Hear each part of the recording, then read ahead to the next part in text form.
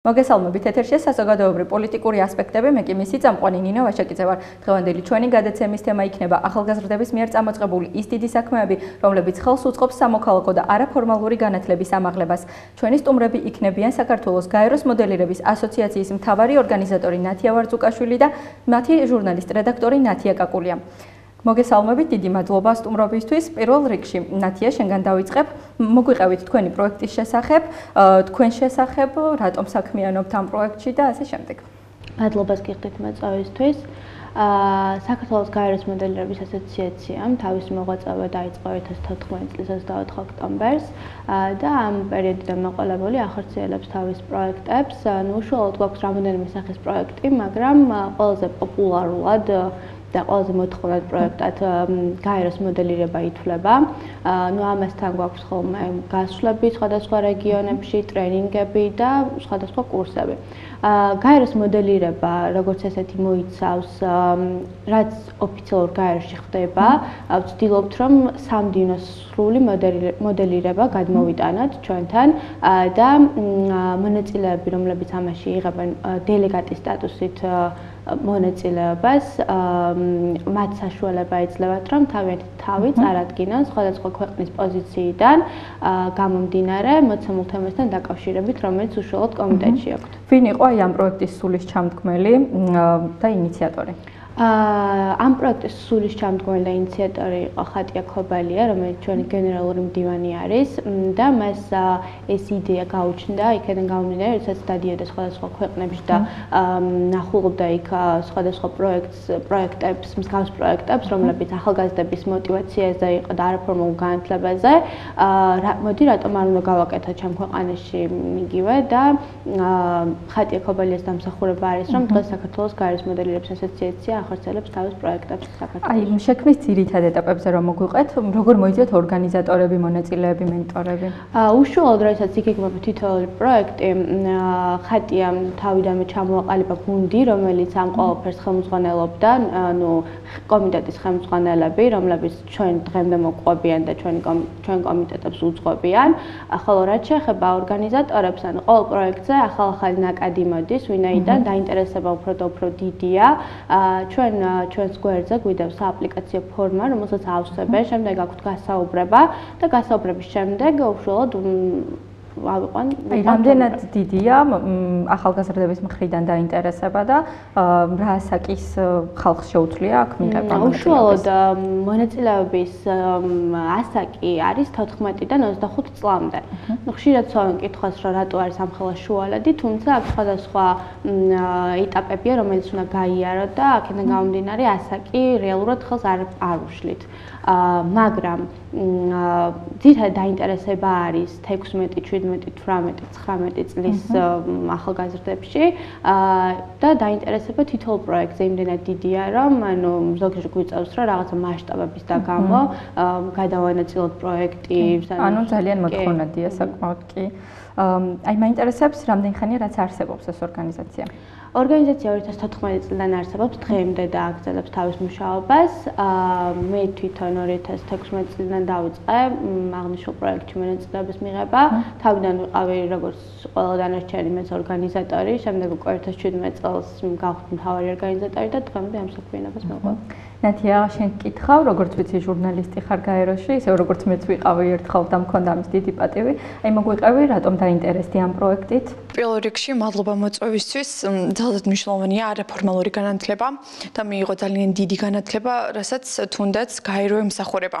მნიშვნელოვანი არის მიიღო მონაწილეობა, რადგან აა თვითონ როდესაც გადახედავ სამი დღის სამუშაოს პირველი ორი დღე საკომიტეტო სამუშაო ხოლმე მესამე უკვე გენერალური ანსამბლია ეს სამი დღე გაძლევს იმის საშუალებას მიიღო იმდენად დიდი გამოცდილება და იმდენად დიდი ცოდნა. სხვადასხვა თემების შესახებ რაც ცხოვრებაში გამოგადგება. მნიშვნელოვანი არის ასევე ამ პროექტში ჟურნალისტების როლი იმიტომ რომ მათი როლი ძალიან დასაფასებელია ისინი აღწერენ თითოეულ კომიტეტში საკომიტეტო სამუშაოებს ისინი დაწრულებით წერენ თითოეულ წრულ მანს რა მოხდა რის შემდეგ რატომ განვითარდა მოვლენები ასე და მნიშვნელოვანი არის მართლაც დასაფასებელი მათი როლი ნამდვილად. ნათია ისევ შენთან გადმოვკითხვით, როგორც ვიცი, პროექტი არის რამდენიმე დღიანი და კონკრეტულად რომელ დღეს რა ხდება, აი ამაზე რომ გვესაუბროთ. აა პროექტი არის სამდღიანი, ძირითადად შაბათი, კვირა ორ შაბათი. შაბათ დღეს ხდება უშუალოდ კომიტეტების გაცნობითი ხასიათის სამუშაოები, შემდეგ ხდება, რომ თითოეული მონაწილე თავის ქვეყნის პოზიციას წარადგენს მოცემულ თემასთან დაკავშირებით, ხოლო შემდეგ უკვე იწყება ამ თემაზე მსჯელობა და კომიტეტის ხელმძღვანელები უშუალოდ თითოეული ქვეყნის მონაწილე დელეგატს აძლევს საშუალებას იმისა, რომ თავისი პოზიცია გაამყაროს და არგუმენტები երևի տափիկ սիրես։ შემდეგ დღეს უკვე კვირა დღეს ხდება უშუალოდ რეზოლუციაზე მუშაობა. მონაწილეები წერენ რეზოლუციას, რაც საკმაოდ შრომატევადი საქმე არის და საკმაოდ დიდი დროს ჭირდება. და ბოლოს, ანუ გენერალური ასამბლეა, ეს ორშაბათს დღეს გვაქვს გაეროში და გენერალურ ასამბლეაზე თითოეული კომიტეტი წარადგენს თავიანთ კომუნიკეებს, ანუ რეზოლუციას და ამ რეზოლუციაზე იწყება მსჯელობა. ამ რეზოლუციის დამტკიცება ხდება, ანუ უარყოფა და ამის შემდეგ უკვე თავდება პროექტი. რას იძენენ ახალგაზრდები საბოლოოდ ამ პროექტით?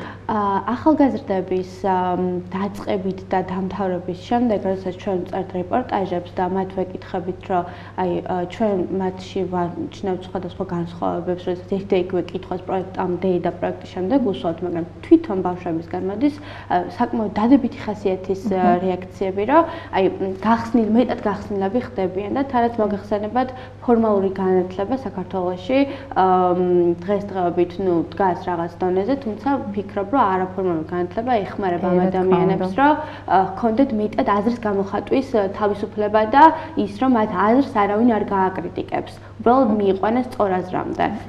და როგორ ავითარებთ სამომავლო გეგმები თუ გაქვთ რაიმე ესეთი რაც უფრო დაინტერესებთ ახალგაზრდებს? კი ბატონო, სამომავლო გეგმები რაც უფრო ხშირ ხასიათს მიიღებს, იქნება გასვლითი ტურები.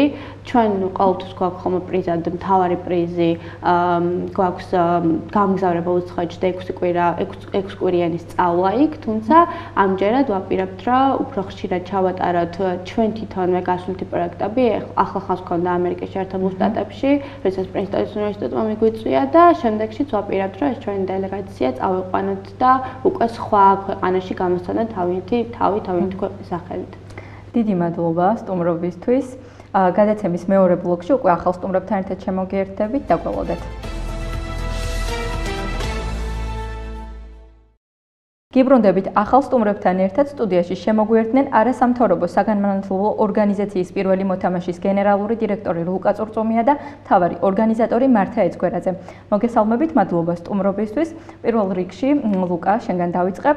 მოგვიყევით თქვენს შესახებ, რა პროფესიის ბრძანდებით, რა საქმიანობთ და თქვენი ორგანიზაცია რას ემსახურება? მოგესალმებით, მადლობა გადაგიხადოთ მოწვევისთვის. მე ჯერ პროფესია არ მაქვს, მე ვარ სკოლის მოსწავლე, მე-11 კლასის მოსწავლე. ეს ორგანიზაცია ორგანიზაცია ჩამოვაყალიბე მე ჩემს მეგობრებთან ერთად. უამრავ პროექტში მაქვს მიღებული მონაწილეობა და უამრავ რამდენიმეჯერ გავხდი საუკეთესო დელეგატი და უკვე რომ მიხვდი რომ ჩემი განვითარება უკვე ეხარ ვითარდებოდი. ამის გამო ჩამოვაყალიბე ორგანიზაცია ჩემი საკუთარი ორგანიზაცია პირველი მოთამაში რატომ გადაწყვიტეთ ამ სახელის დარქმევა პირველი მოთამაშე? ორგანიზაციისთვის პირველი მოთამაშე იმიტომ გადაწყვიტე რომ დამერქმია რომ ჩემი ერთ-ერთი მეგობარი ცხოვრობს ამერიკის შეერთებულ შტატებში, იქ არსებობს ერთ-ერთი დიდი ორგანიზაცია, რომელიც ემსახურება ამ სფეროს The First Player, მაგის დამფუძნებელი არის ასევე ჩემი უახლოესი მეგობარი და გადაწყვიტე რომ შევექმნათ საქართველოსში პირველი მოთამაშის სახელით. ზუსტად რამდენი ხანია რაც არსებობს თქვენი ორგანიზაცია და პარლამენტის მოდელირების გარდა თუ კიდევ ჩაატარეთ ამ ცირე დროის განმავლობაში რაიმე? ჩვენი ორგანიზაცია ჩამოყალიბდა 2018 წლის ოქტომბერში. ჩვენ ამ ცირე დროში მოახერხეთ, რომ ჩაგვეტარებინა ჯერჯერობით ერთი პროექტი, სადაც იყო 200-მდე ახალგაზრდა ჩართული და ეხლა 25, 26 და 27 მაისს ვატარებთ, მოაპირებთ, რომ ჩავატაროთ მეორე პროექტი, სადაც ველოდებით უფრო მეტ ახალგაზრდას.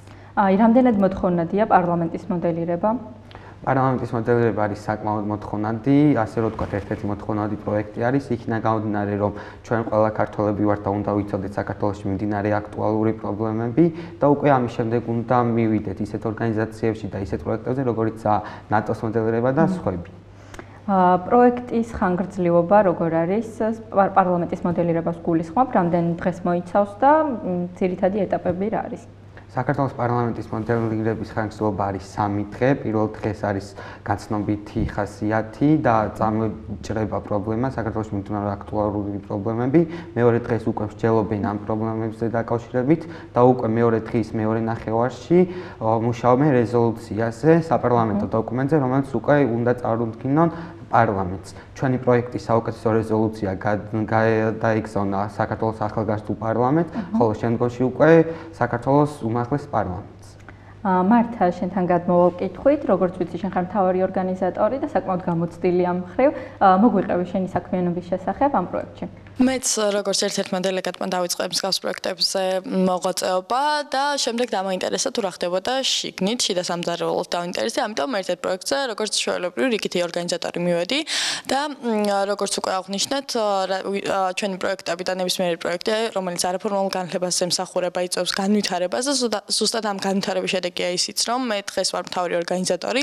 ეს არის ჩემი რიგით მეორე პროექტი, მთავარი ორგანიზატორის ამპლუაში და ვფიქრობ, რომ უკვე საკმაოდ დიდი გამოცდილება მაქვს იმის რომ იმისთვის რომ მსგავსი პროექტები განახორციელო. დიდი მადლობა. ლუკა ისევ შენთან გადმოვკითხვით, როგორც გავიგეთ ჯერ სკოლის მოსწავლე ხარ, მაინტერესებს სამომავლოდ რა პროფესიის არჩევას აპირებ და დაგეხმარება თუ არა შენ ორგანიზაციაში მიღებული გამოცდილება შენი პროფესიის მხრივ. მადლობა საინტერესო კითხვის. მე ჯერჯერობით ვარ სკოლის მოსწავლე. მე სამომავლოდ ვაპირებ ჩემი ცხოვრება დაუკავშირო პოლიტიკას და მეცნიერებას. ჩვენი პროექტი და ჩვენი პროექტი დაეხმარება ახალგაზრდა თაობას, რომ მიხვდნენ თუ რა ინტერესებს მათ უკვე შემდგომ მომავალში თუ რა პროფესიას უნდა დაუკავშირონ მათი ცხოვრება და არაფორმალური განათლება საკმაოდ დაიხმარება მათ ამ პროექტის სამომავლო გეგმისთვის შენ რამდენ პროექტში მიიღე ამ მონაწილეობა რომელ პროექტებში და დაგეხმარა თუ არა იმისთვის რომ სამომავლოდ პროფესია აგერჩია კი, მე მაქვს მონაწილეობა მიღებული 8 პროექტში. აქედან 5 იყო საზღვარგარეთ, ხოლო 3 იყო საქართველოსში. საქართველოსში მივიღე ეს ჯორჯიის პროექტებში მონაწილეობა, რომელიც იყო პირველი ორგანიზაცია ამ კუთხით, არაფორმალური განათლების კუთხით, ხოლო საზღვარგარეთ მაქვს მიღებული ისეთ მოდელირებებში, როგორიცაა გაეროს მოდელირება, ევროპარლამენტი და ნატოს მოდელირება. ესე იგი ჩვენს ქვეყანაში არსებობს ძალიან ბევრი საშუალება რომ ახალგაზრდებმა მიიღონ არაფორმალური განათლება, ეს ძალიან სასიამოვნო. დიდი მადლობა უმრობისთვის. ეს გახლდათ საზოგადოებრივ პოლიტიკური ასპექტები ნინო ვაშაკიძესთან ერთად მე კი დროებით გემშვიდობებით ნახვამდის.